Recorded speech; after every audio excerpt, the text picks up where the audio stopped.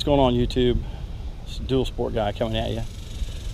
Well, I was just getting ready to load up the wheelers to, to go out and do a review of this 12 inch Auxbeam LED light I put on a few weeks ago.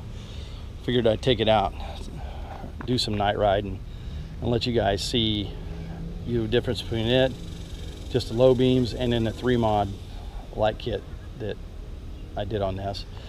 Well, I was thinking about it, it's like nobody ever talks about how they get their stuff out there. How you get it to the playground. So here you go. Big Tex 35 SA. Bought this a couple years ago. It's 14 feet long, seven foot wide. Drop down tailgate. And then the good feature about this is, is it's got these side ramps. It's got one each side, pull the pins, and you can put the ramps on either side. So by doing that, I can get three four wheelers or like me, I can put both my wheelers up there and then get my lawnmower up for when I go out to the farm and mow. Um, this would have been a really great trailer Big Tex would make a 16 foot long version with a tandem axle. It'd be perfect. But uh, other than that, I don't have any complaints. Um, well, I guess I got one. That bumper right down there. Thing hangs low. Um, for me, I got kind of a steep approach to my driveway, so sometimes you'll drag it, but you know, no big deal. Then here's another thing I put on this trailer are these tie downs right here.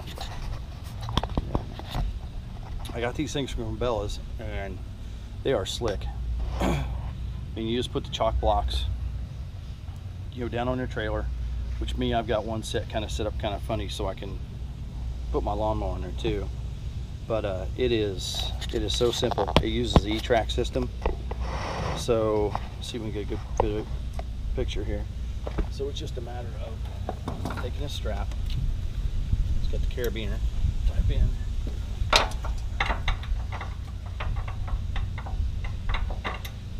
Strapping it over.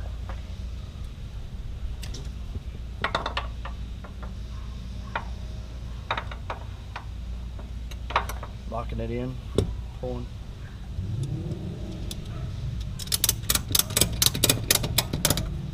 That's it.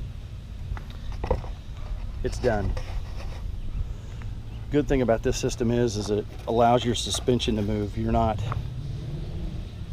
you know, pulling tension down on the suspension. So it is kind of weird the first time you see it going down the road, you'll look back and your and your wheelers are sitting there moving around but they are fast. You don't have to worry about tying up the ends of your straps anymore. Nothing. Strap them on and go. So, uh, anybody got any questions about that? You know, hey, put in the comment bar. I'd be glad to answer. Like I said, you buy them at Cabela's. you get the set, which you get four chocks, the two straps. It's like $40. Best money I've ever spent. All right, we'll catch you later.